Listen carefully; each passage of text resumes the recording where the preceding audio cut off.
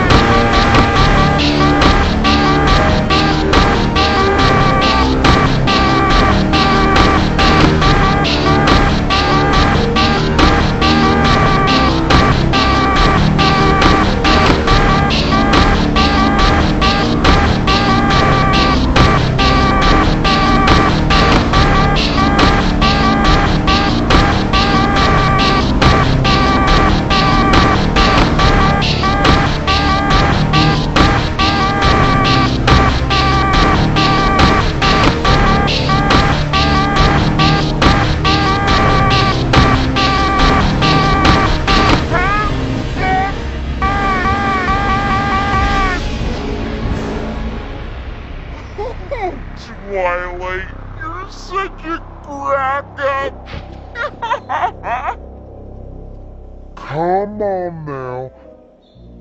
Have a seat and stop sweating the small stuff.